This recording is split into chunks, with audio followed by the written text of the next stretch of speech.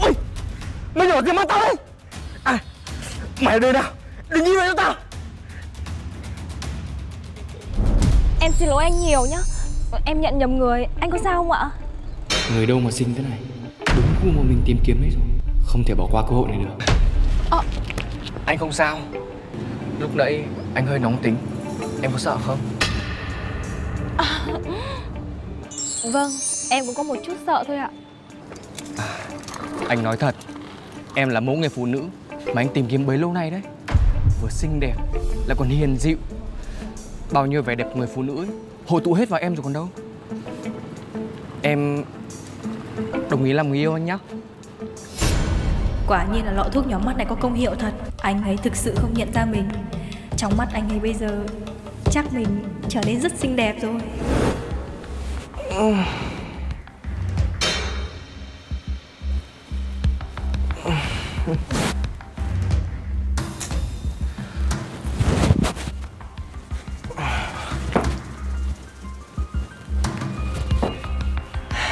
Không ngờ chinh phục người đẹp là lại dễ thế.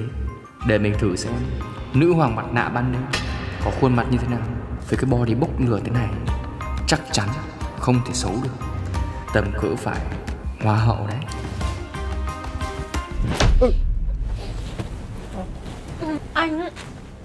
Em không cởi mặt nạ ra đâu. Em sợ anh chạy mất đấy. Chúng mình đang ngủ với nhau rồi. Em còn ngại cái gì nữa? Anh cũng không phải kiểu người mà. Tham sắc này Tham vẻ bề ngoài đâu. Anh hứa Dù em có như thế nào đi nữa Anh vẫn sẽ chịu trách nhiệm với em. Được chưa? Anh nói thật Anh sẽ chịu trách nhiệm với em á Thế thì anh nhắm mắt lại đi.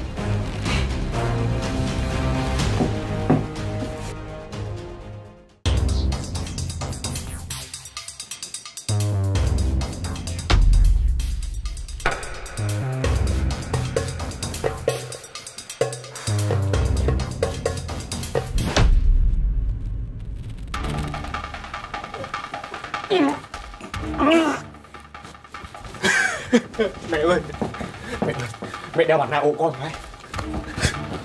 Trời ơi cứ tưởng mua được bố ngon. Ai ngờ là cóc ghẻ à? Mà quên Tôi bảo cô là cóc ấy. Nó còn xúc phạm con cóc ấy.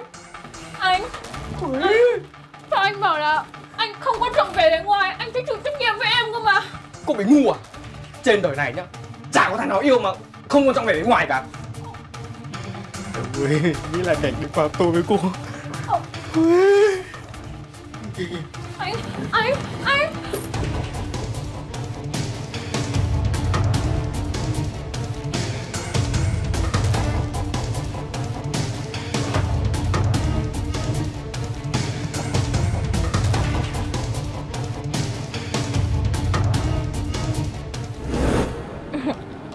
Em đồng ý ạ. Xinh đấy Anh Cường Anh chơi cháo thật đấy. Anh dám ngoại tình trước mặt tôi à? Làm sao? Cô tự nhìn lại mình đi nhá. Từ đầu đến chân ấy Có rõ giống người không? Đầu tóc thì bù xù Quần áo thì thùng thình loại đầu to bù mắt như cô ấy. Mà nói chung ấy Mặt cô ấy, tôi ngán lắm rồi. Giới thiệu luôn. Đây Vợ tương lai Này. Anh có chắc là cô ta không đấy? Sao là không chắc. Cô tự nhìn lại mình đi nhá. Không mỏng góc người ta đâu. Mặt anh bị đuổi à? Hay là dạo này anh ăn mặn đổi gu rồi? Tôi không hiểu anh nghĩ gì mà anh lại bảo tôi không bằng một góc của cô ta luôn đấy. Chắc chắn là mắt anh có vấn đề rồi.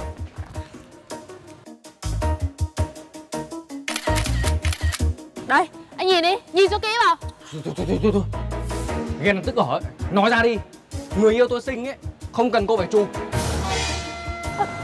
Mà trước khi ly hôn ấy Khả năng tôi phải mua cho cô cái gương Để cô tự soi lại mình ấy.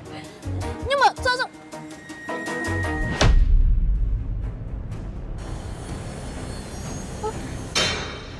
Phải tìm cách đuổi cô ta đi nhanh mới được. Anh Ngoài trời nóng bức như này em mệt lắm. Hay là mình đi về nhà đi. Còn chuyện anh với vợ cũ của anh ấy Hôm sau gặp nói chuyện nhá Thôi được rồi, để anh đưa em về nhá Hẹn gặp cô ở tòa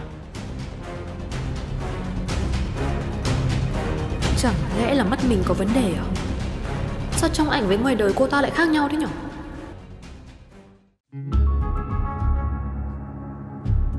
Này Nhiều lúc anh nghĩ Không biết là mình phải tu bao nhiêu kiếp Mới may mắn Có đôi cô người yêu vừa xinh đẹp Vừa hiền dịu. Mà vừa nóng bỏng như em ấy. Anh này nữa Chỉ được cái khéo nói thôi. Thế hôm nay anh muốn ăn gì để em đi mua? Anh chả cần ăn gì cả. Cần mỗi em thôi. Anh này Em ngại lắm.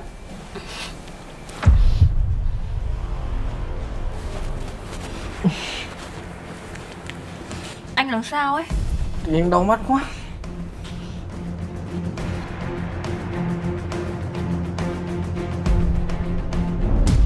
làm sao ấy?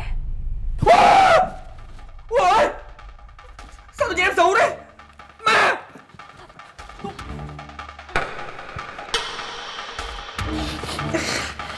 Anh này nữa Em đã bảo anh là ngày nào cũng phải tra thuốc nhỏ mắt cơ mà.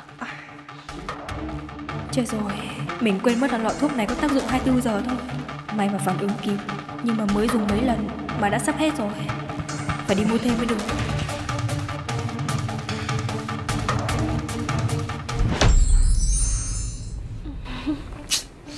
Chắc là mắt anh có vấn đề thật rồi. Mấy bữa nữa anh phải đi khám thôi. Anh không cần phải đi khám đâu. Anh cứ nhỏ thuốc nhỏ mắt là em mua cho anh là được rồi. Thôi Anh ở nhà để em đi mua đồ nấu cơm nhá. Ừ.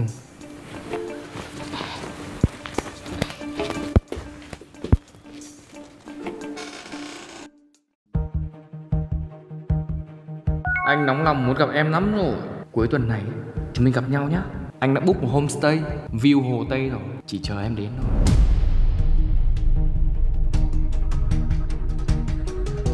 Anh tâm lý chu đáo quá Em nhất định sẽ đến. Yêu anh. Cái gì? Thôi hôm nay á. Này Anh nói đi Con này là con nào? Hả?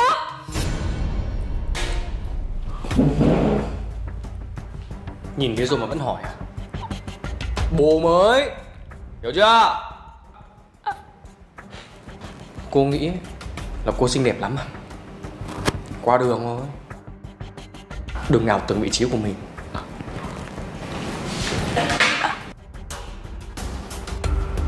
Mình thật sự là một đứa con gái xấu xí Mình không thực sự xinh đẹp Chỉ là nhờ cái lọ thuốc đấy Nên mình mới trở nên xinh đẹp trong mắt anh ấy thôi.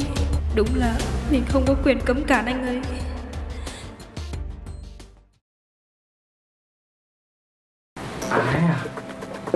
Em một tí cosplay cả Được đấy. Vào đi. Ai à? Cảm giác mạnh đấy. Nhưng mà anh thích. Chặt vào nhé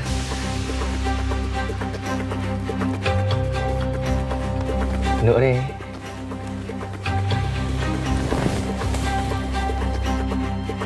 Này Cô làm gì đấy? Ơ Là em đây mà. Anh bỏ vợ anh. Anh còn muốn em là người yêu của anh nữa cơ mà. Chúng mình ăn nằm với nhau. Cả tuần nay Chẳng nhẽ anh không nhận ra em?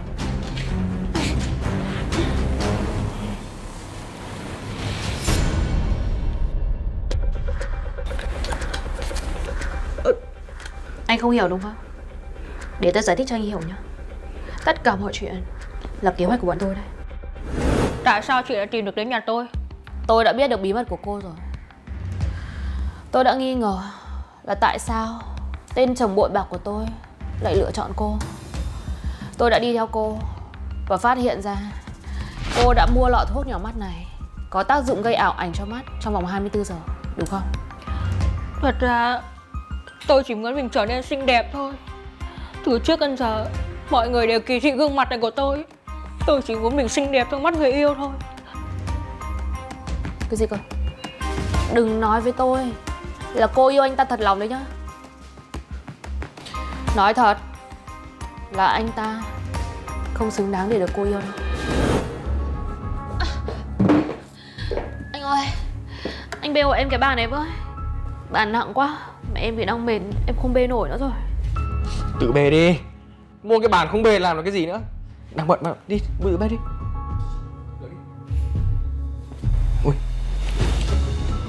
Alo bạn à Tôi đấy Nhiều mà. Đi chứ. Mà này Đổi quán khác anh nhá. Quán cũ mà em nào Quen mặt người ấy lắm rồi. Ừ. Đúng 15 phút nữa có mặt Ok Nha. Rồi anh lại còn đi cả bia ôm nữa. Anh không coi vợ anh ra cái gì nữa rồi à? Này Lại nhải Là mồm ít thôi Nhá. Tôi đi ngoại giao công việc Nhậu nhẹt là chuyện bình thường. Có cái gì đâu. Mà cả có cái gì cũng Chẳng biết đích gì cả. Cái mặt cô ấy May cho cô tôi chưa bỏ cô đấy Nhá. Đầu to bốn mắt Nhìn như bà thím ấy. Phát người ấy. Này Cô cố tình bịa chuyện để chia rẽ tình cảm của tôi với em Cường đúng không? Tôi không tin chị đâu. Tôi bịa chuyện để làm cái gì? Tôi chỉ có lòng tốt muốn cảnh cáo cô thôi. Còn cô tin hay không thì tùy. Tôi chẳng còn lưu luyến gì với anh ta nữa rồi. Tôi chỉ muốn khuyên cô một điều Là phụ nữ. Thì hãy yêu lấy bản thân mình đi.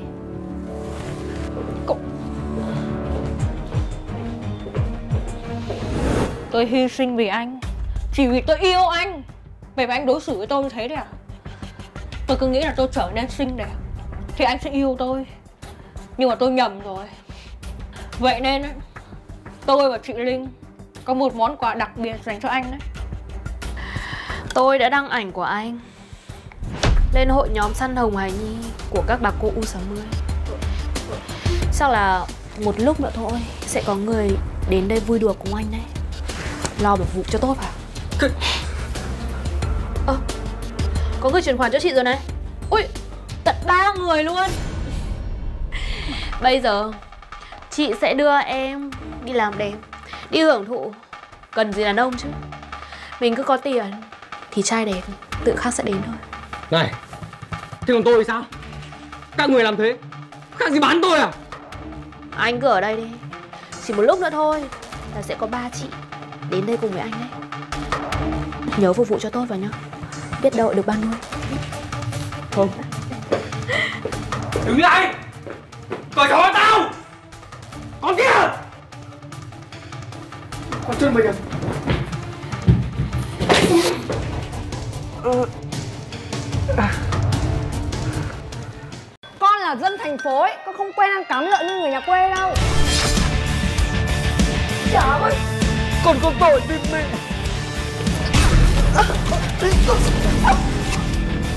Không phải tôi đẩy đâu.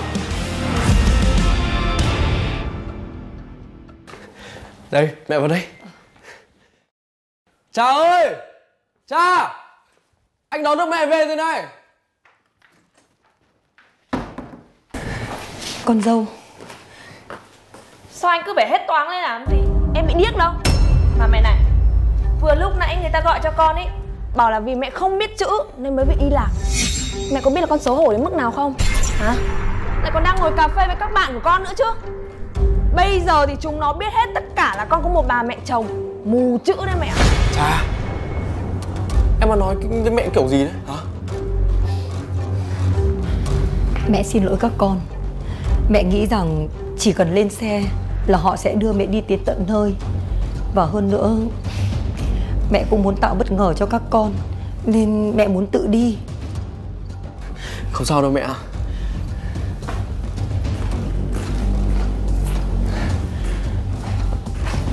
Mẹ đừng để bụng nhá. Cha không khéo ăn nói Nói thế thôi, Chứ không có ý gì xấu đâu nhá.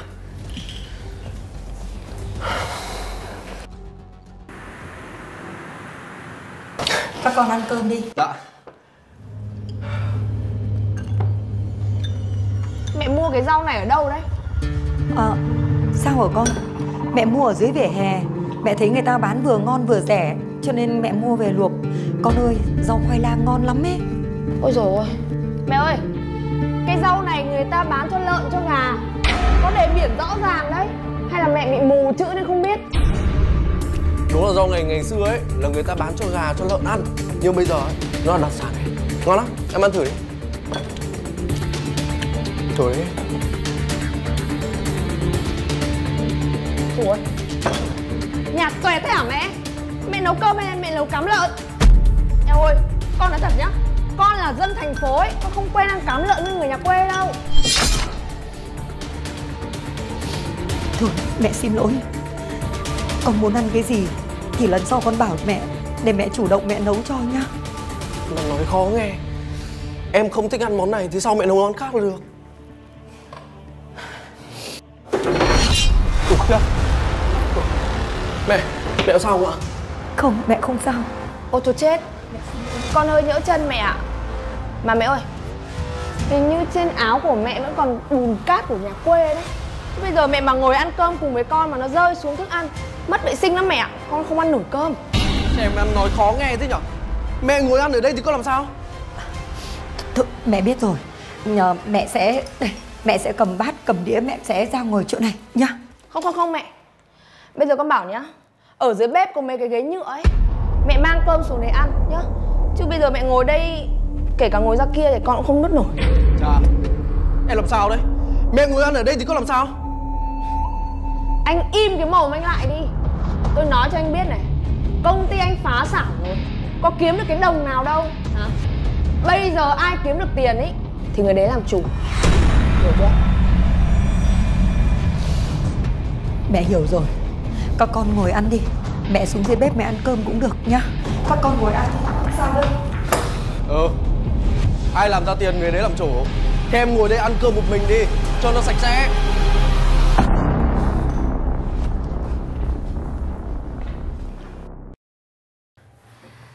Bà Xuân ơi!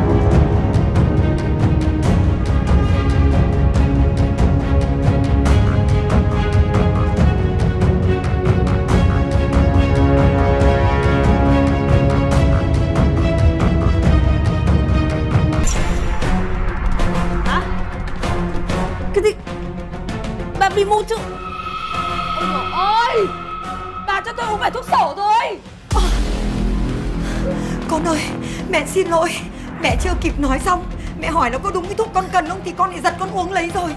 Mẹ xin lỗi. Kìa Ông kia con Chà Bà cho tôi uống thuốc sổ ấy. Bây giờ bà phải chịu chung số phận với tôi. Bà biết chưa? Ơ. Chà ơi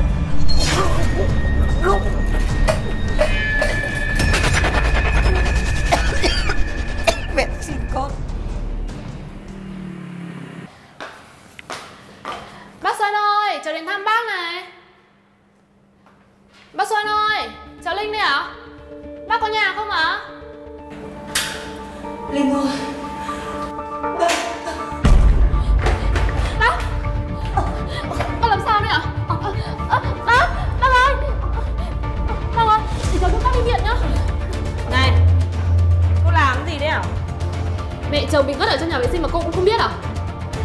Ôi rồi ôi Bà ta ngủ quen thôi. Chắc là thấy phòng vệ sinh nhà tôi đẹp quá Sạch quá, thoáng quá. Hơn khối cái nhà rách nát ở dưới quê. Không việc gì đâu.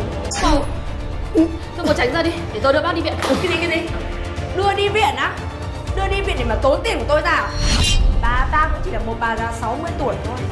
Vô dụng. Mà tại sao cô phải xoắn suýt đến thế? Hả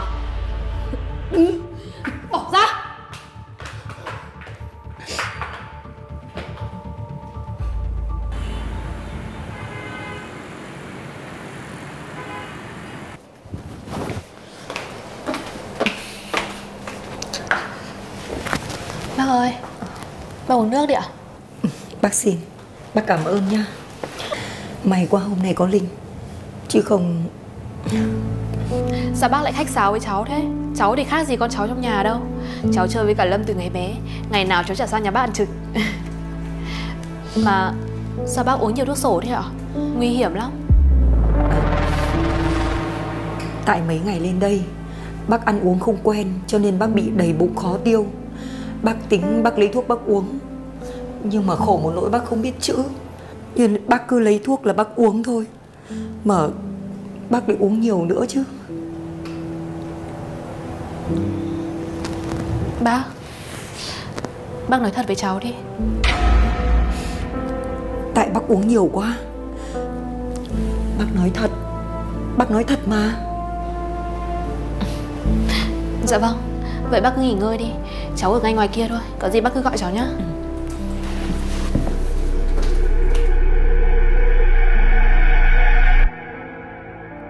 Ê, Sao ấy?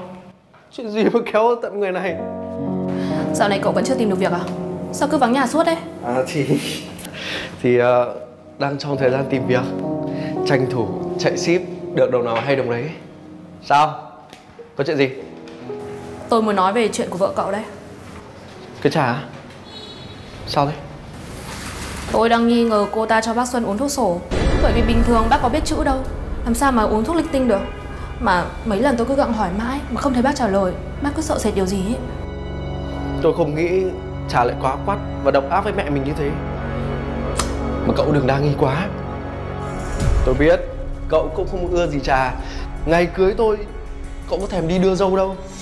Tôi biết trà cũng hơi khó tính và quá quắt nhưng mà tôi không nghĩ trà như thế.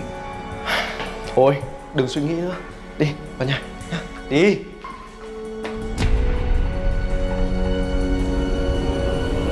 Con khốn này. Mày cứ đợi đấy.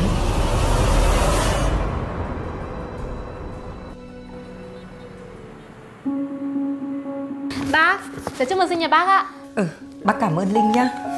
Còn đây là quà của con. Chúc mừng sinh nhật mẹ. Mẹ cảm ơn con trai. Vui quá đấy ạ. Con cũng có một món quà muốn dành tặng cho mẹ đấy. Mẹ cảm ơn. Bất ngờ chưa ạ? Bảng chữ cái đi mẹ Mẹ ơi Mẹ đọc chữ này Mẹ có đánh vân được không?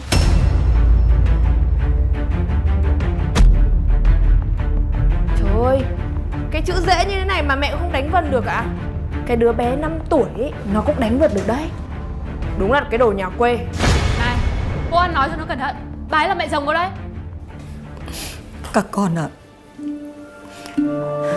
Ngày xưa Nhà ông bà ngoại nghèo lắm Mẹ không có được đi học. Mẹ cứ phải suốt ngày đi làm Để phụ giúp ông bà nuôi các em. Lớn lên, Mẹ cũng lại càng không có thời gian đi học nữa. Chính vì thế cho nên mẹ bị mù chữ. Chứ mẹ cũng muốn Như thế này đâu. Thôi được rồi. Mẹ như thế rồi, con cũng hiểu cho mẹ mà. Thế bây giờ nhá Mẹ có đọc được cái chữ ở trên chiếc bánh gato này không ạ? Trà, Làm sao mà mẹ đọc được Thế để con dạy mẹ nhá Đánh vần theo con đây này Người Nhà Quê Thôi đi có một vừa hai phải thôi. Mẹ! Mẹ! Bác ơi,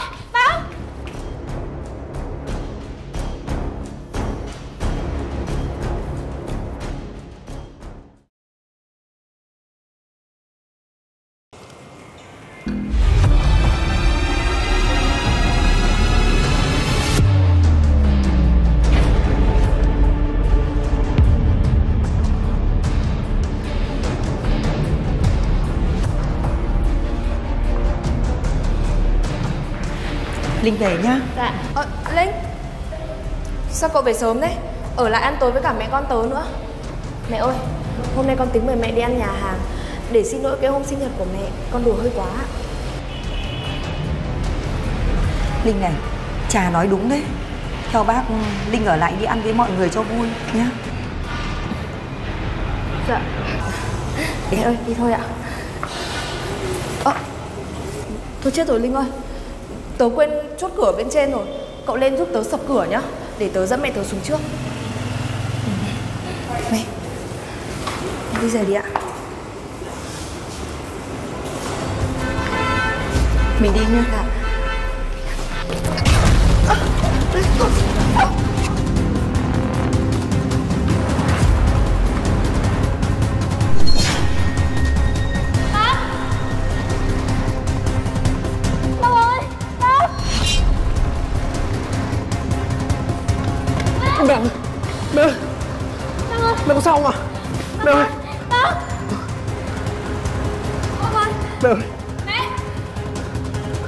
Có làm sao không ạ?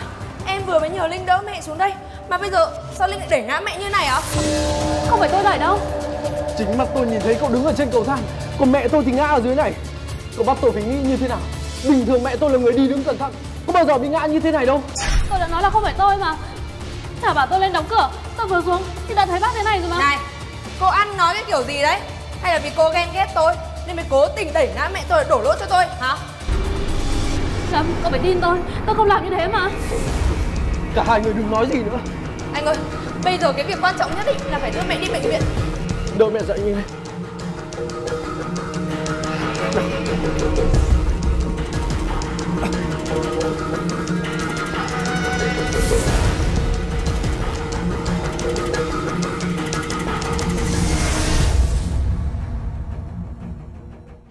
Rồi, mẹ yên tâm Tuần sau con sẽ sắp xếp về quê để làm thủ tục sang tên căn nhà. Mẹ đừng lo Con biết mẹ để cho con căn nhà. Mà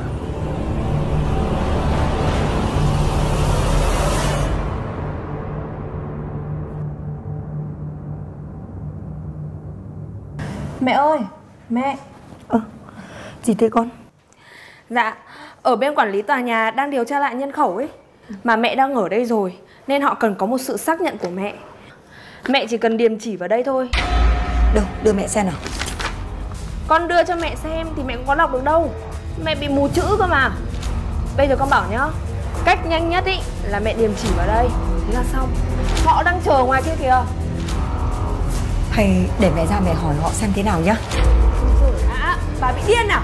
Bây giờ nhá, bà chỉ cần điền chỉ vào đây thôi. Đưa cái tay đây. Không, để mẹ kia hỏi đã chứ. Đưa cái tay đây. Kìa. Đây, ơ, ơ. Cô Long Ơ, Sao, sao hai người ở đây ạ? Lâm. Lâm ơi, sao con biết mơ về?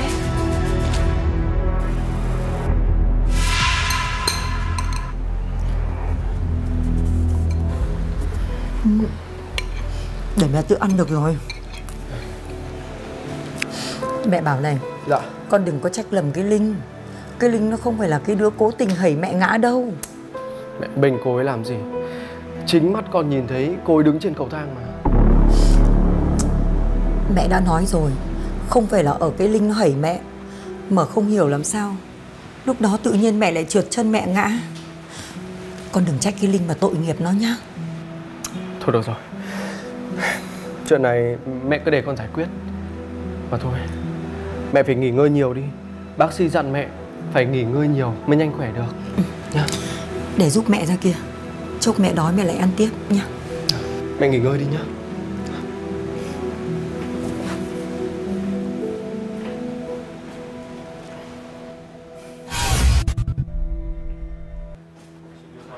Đừng, đừng, đừng đánh mẹ nữa.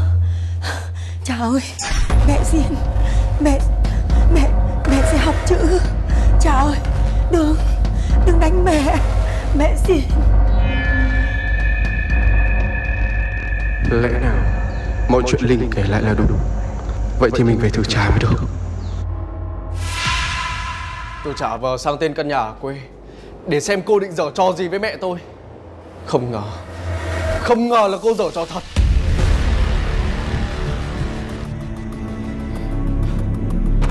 Đúng đấy.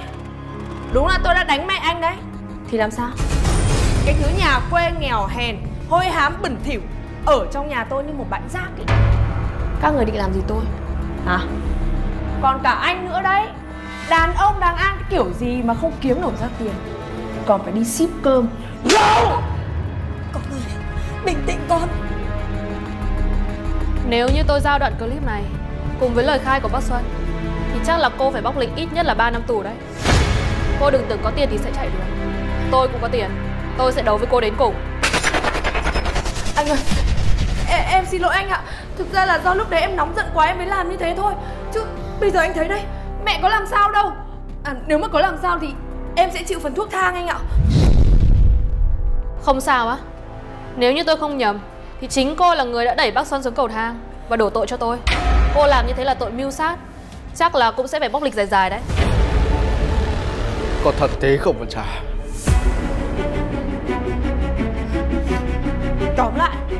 là hai người muốn bao nhiêu tiền? Chỉ cần có tiền là giải quyết được mà. Đúng chưa? Tiền à?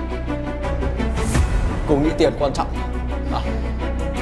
Suốt mấy năm qua tôi đã phải nhẫn nhịn cô Vì tôi biết Tôi là kẻ xuất thân thấp kém. Tôi chịu được. Nhưng đến hôm nay cô sỉ nhục mẹ tôi. Quỳ xuống. Quỳ xuống! Xin lỗi mẹ tôi ngay! Mẹ ơi Con Con xin lỗi mẹ ạ Cút. Cút khỏi cuộc đời của tôi. Tôi sẽ viết đơn. Và tôi sẽ gặp cô ở tòa.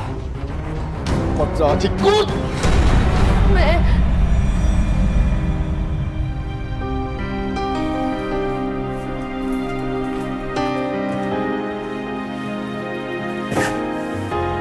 Mẹ. Con xin lỗi mẹ. Thời gian qua Con đã không để tâm đến cảm xúc của mẹ. Là con vô tâm. Mẹ ơi Con có tội với mẹ. Con có tội với mẹ. Chắc là tại bác Sơn sợ cậu đi làm bị stress nên là mới không dám nói với cậu thôi. Lỗi tại ở mẹ. Tại sự xuất hiện của mẹ. Mẹ sợ vì mẹ mà làm hôn nhân của các con dạn nứt Cho nên mẹ mới âm thầm chịu đựng Mẹ chỉ muốn lên đây chơi với con mấy hôm rồi mẹ về quê.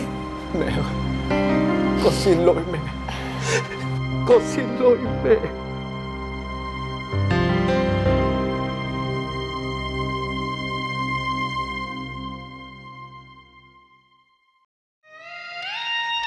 Ông già đầu thế rồi mà ông vẫn còn đái bậy ra đây à? Ông chán sống rồi à? Tại sao cô lại bắt một người già yếu như thế quỳ xuống xin lỗi con chó chứ? Thì thử bò bốn chân như con gái tôi đi. Cõng cô chủ đi chơi đi nào. Con này cô Cô, cô đừng mà quá đáng nhá. Nào Con gái cưng đi vào với mẹ nào Nhanh lên. Ê cô gì ơi? Ở đây đã có quy định rồi Không được dẫn theo thú cưng hay là động vật vào trong spa đâu cô ạ. Động vật nào? Ơ thì con chó Ông bảo con gái cưng của tôi là động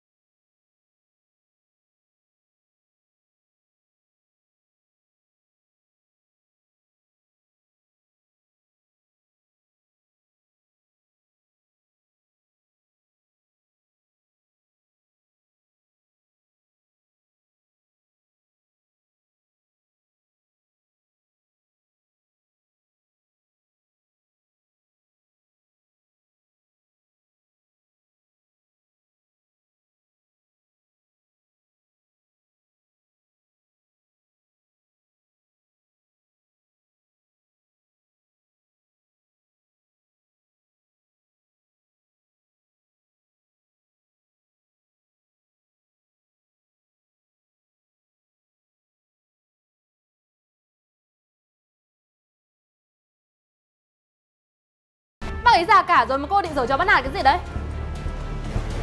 Tôi mà phải dở trò với cái lão bảo vệ hèn mọn này á. Ông ta dám đá con gái tôi. Tôi bắt ông ta quỳ xuống xin lỗi con gái tôi thôi. Con gái cô? Ý cô là Cô bảo con chó này là con gái cô á? Ôi Thôi nha Nhất định ý là mẹ sẽ bắt cái ông già kia phải quỳ xuống xin lỗi con Đòi lại công bằng cho con được chưa? Nha đừng có dỗi mẹ nữa nào. Này cô đúng là điên được rồi đấy. Tại sao cô lại bắt một người già yếu như thế quỳ xuống xin lỗi một con chó chứ? Cô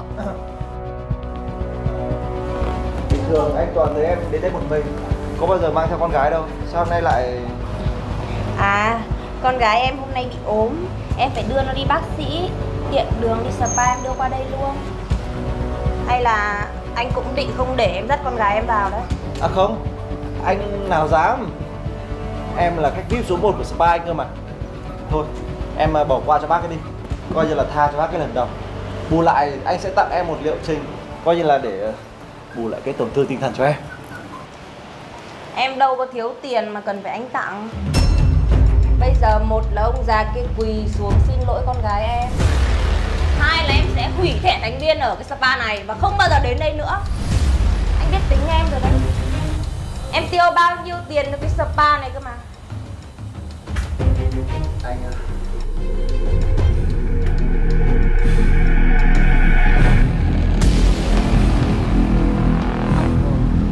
Thôi cô ạ.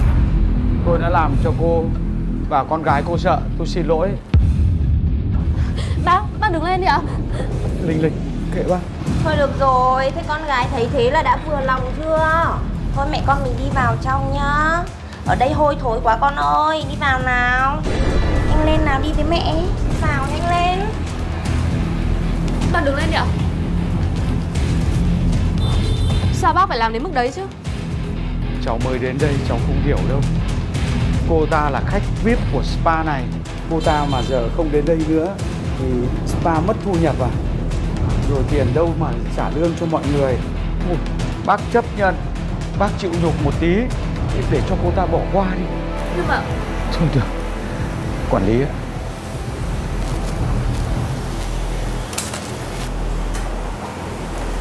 Sao ờ, em không trả lời tin nhắn của anh? À Chuyện Anh rủ em đi ăn tối à? Thì ờ, em là nhân viên mới, anh muốn mời em đi ăn tối để ờ, nói rõ hơn về công việc thôi. Em yên tâm, anh sẽ cất nhắc vị trí của em. Ờ, em xin lỗi Em có việc rồi không đi được đâu ạ Em cảm ơn quản lý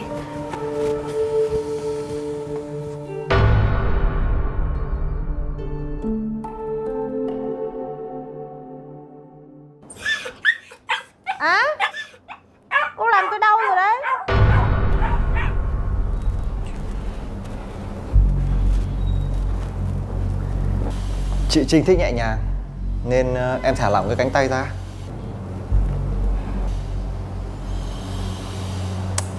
Phải làm như thế này này.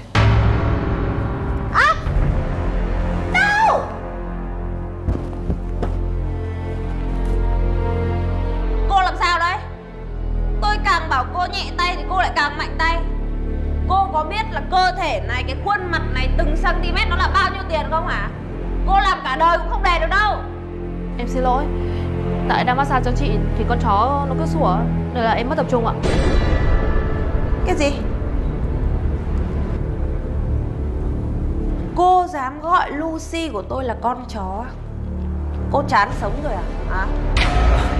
Thôi, Linh mới đi làm, có gì không phải thì ờ, em bỏ qua cho Linh nhé. Bỏ qua là bỏ qua thế nào Mấy cái thể loại phục vụ nghèo hèn thế này Với cả cái ông bảo vệ dưới kia ấy, Thì phải để cho em dạy cho Anh không thấy Ông bảo vệ kia gặp em còn phải in thít à? Này Lao động chân tay thì có gì thấp kém mà chị nói bọn tôi như thế? Không thấp kém thì sao? Cái loại của cô Làm cả tháng Không bằng tôi làm 5 phút đâu.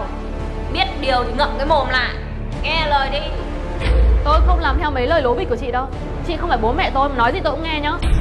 Anh Thắng Anh để nhân viên của anh bật khách tanh tách thế này á Ờ, thôi được rồi, thế để anh đổi nhân viên khác làm cho em nhé.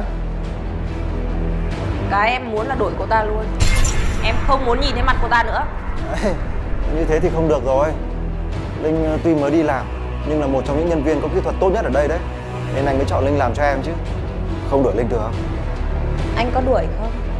Hay là để em gọi cho văn phòng chăm sóc khách hàng Anh ờ, Không có massage gì nữa Đi về con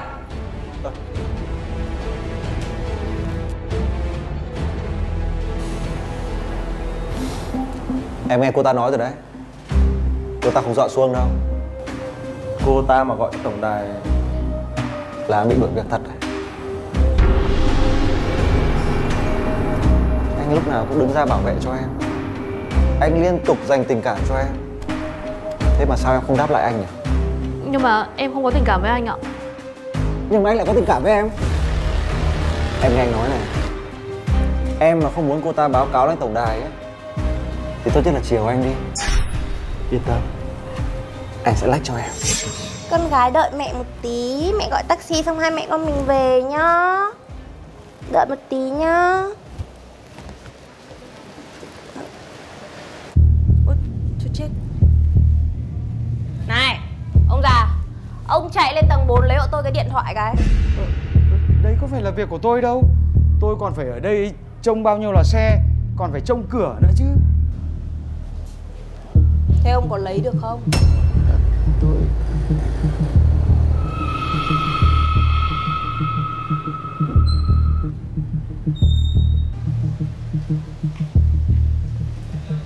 Con gái đứng đây cho đỡ mỏi chân nào. Không được đâu ạ. Hồn nạn đây đưa rồi đi ra. Cứu với Ai kêu lên ơi Bỏ ra. Con Thoại Bỏ ra. Buông ra. Buông ra Bác ơi Thôi Bác đừng đánh anh ta làm gì cho bẩn tay. Cháu sẽ kiện anh ta ra tòa tội cưỡng đoạt cháu ạ.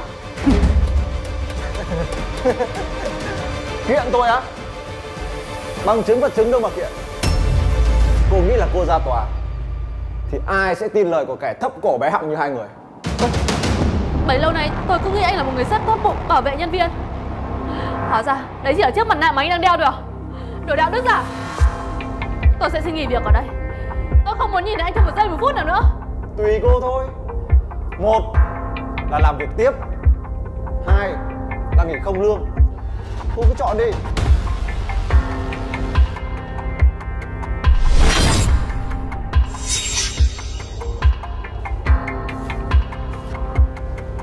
Linh ơi Linh. Cháu định bỏ việc thật à? Nghe chú nói nhá Cháu cố gắng chịu đựng Nhịn nhục thêm một thời gian nữa Làm nốt đi. Chứ không vì lý do này Mà hắn ta cuỗm mất nửa tháng lương của cháu. Bao nhiêu là công sức của cháu bỏ ra đấy thôi.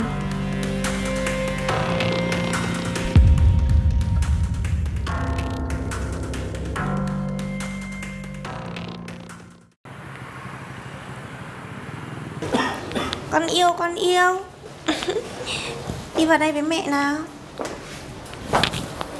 Dạ chào. Lucy ơi, Hôm nay không có cái bãi rác nào cản đường mẹ con mình nữa à? Đã bảo rồi, Cống rãnh lại còn đòi sóng sánh với đại dương, Máng mương lại còn đòi tương đương với thủy điện à? Lucy con có ngửi thấy mùi gì không? Mẹ ngửi thấy cái mùi thối thối, hôi hôi, Vừa giống cái mùi cơm mà vừa giống mùi cám lợn đấy con ạ. Trời ơi, con thấy không? Bây giờ người ta khổ lắm. Một bữa ăn của con ấy Bằng ông già kia ăn cả tuần đấy con ạ. Thôi mình vào đi. Con sao vậy? Con buồn tè hả? Thế con cứ đi tè thẳng ra đây đi. Không Sao đâu, thoải mái đi nhá. Mẹ cho phép. Xong chưa? Ok. Cô! Sao cô lại cho con chó nó tè bậy ở đây? Cô có biết đây là cái chỗ để xe của mọi người Rồi nó khai rình ra thì làm thế nào? Thì mới có việc cho ông làm. Ra đây lau hết cái chỗ này đi. Ờ, tôi... Có lau không? Hay lại muốn bị đuổi việc Lucy Con đi ra đây. Cho người ta lau nước đái cho con nào ngồi đây. Ở đây mẹ nha.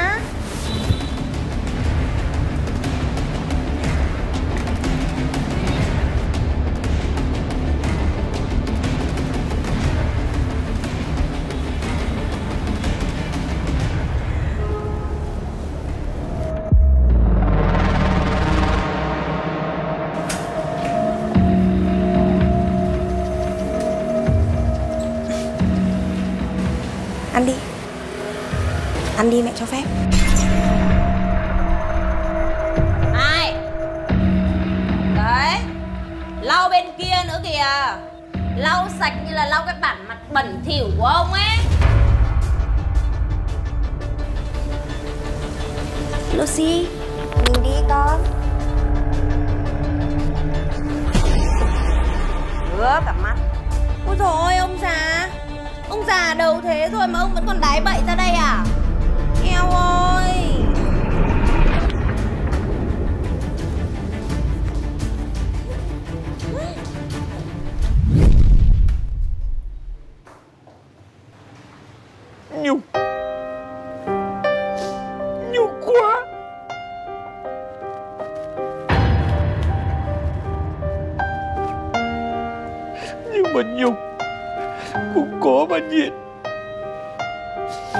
Nếu không vì nửa tháng nữa Mà cần tiền đóng học cho con gái, Thì đừng hòng tôi phải chịu nhục thế này.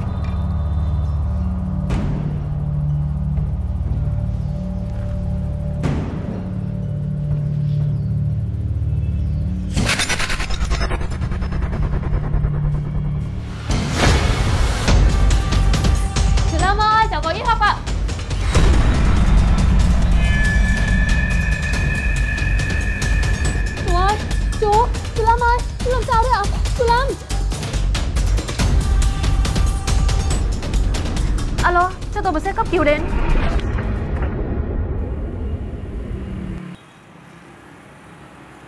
Em xem này, tháng mới này bên anh mới triển khai liệu trình trẻ hóa da.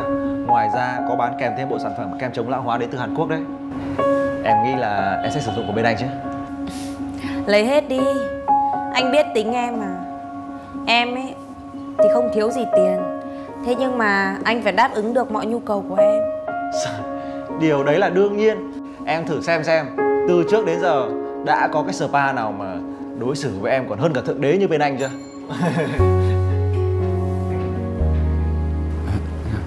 Anh Thắng ơi. Dạ, Báo cáo anh là tôi được ra viện rồi ạ. Hôm nay tôi đến đây gặp anh là để trình anh cái giấy ra viện Để anh xem xét cho giúp cho tôi được nhận cái khoản hỗ trợ bảo hiểm Để tôi nộp viện phí ạ. Anh xin phép tí nhá. Dạ, gửi anh ạ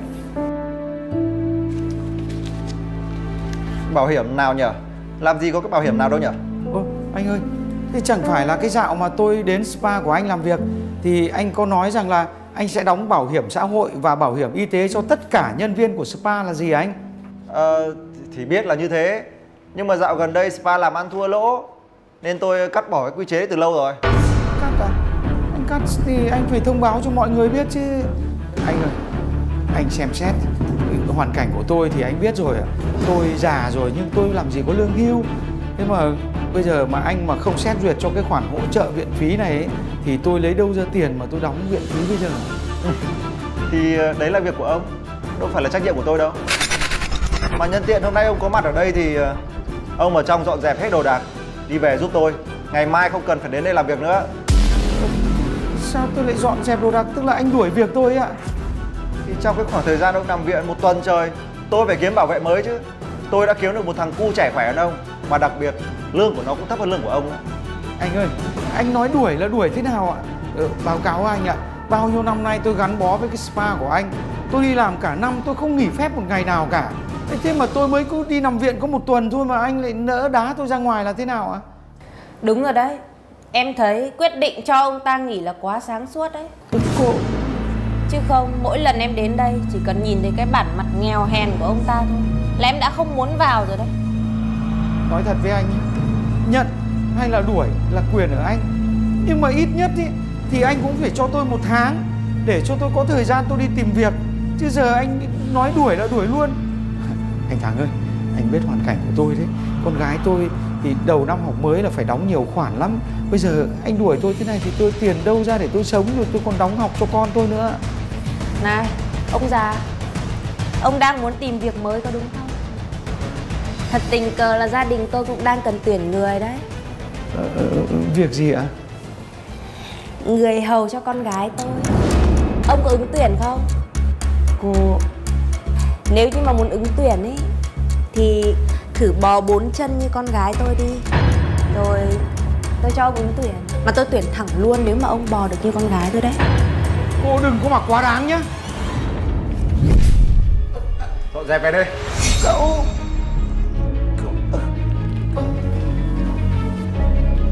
Em nhìn thấy chưa? Người ta đang bắt đầu đi bằng bốn chân rồi đấy. Em xem mà xét duyệt đi Xem cái dáng vẻ nó có phù hợp không? Trông thì cũng phù hợp đấy. Nào. Cõng cô chủ đi chơi đi nào. cô, cô đừng mà quá đáng nhá Cô. Linh cháu đến đây làm gì? Sao cô lại ở đây? Chẳng phải là tháng trước cô nhận đủ lương rồi nghỉ việc rồi cơ mà. Bây giờ cô quay lại đây làm À Chắc là hối hận. Nên quay trở lại đây để xin việc chứ gì? Anh nhìn cô ta kìa. Hôm nay lại bày đặt mặc đồ hiệu cơ đấy. Trông cô không sang lên được đâu. Cái tướng nghèo hèn của cô thì Các người nhầm rồi Tôi đến đây không phải để xin đi làm lại. Tôi đến đây để đóng cửa cái spa này. Cô nói cái khỉ gió gì vậy? À, Cứ làm như kiểu là chủ cái spa công bằng ấy. Thôi bớt chém gió lại. Đây là bản báo cáo doanh thu 12 tháng vừa qua. Anh xem đi.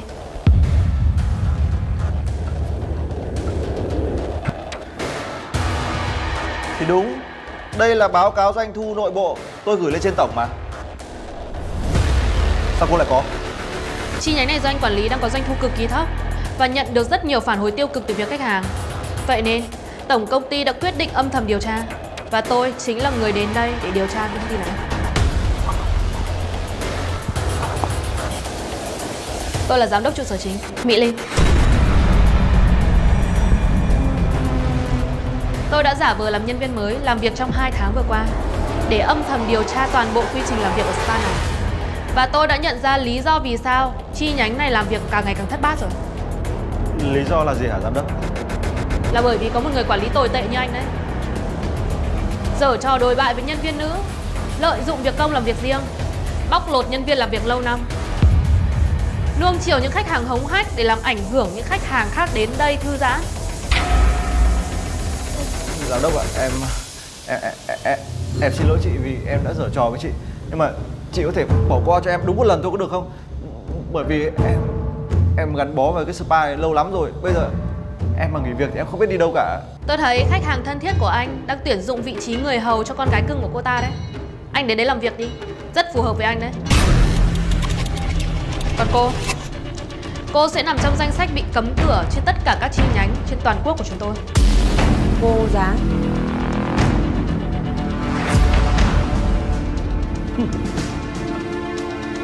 Không đợi Bác, ở trụ sở chính đang cần tuyển thêm bảo vệ đấy ạ. Bác về đấy làm với cả cháu nhé. Được như thế thì tốt quá Cảm ơn cháu nhiều lắm Mình đi thôi bác. Giám đốc ạ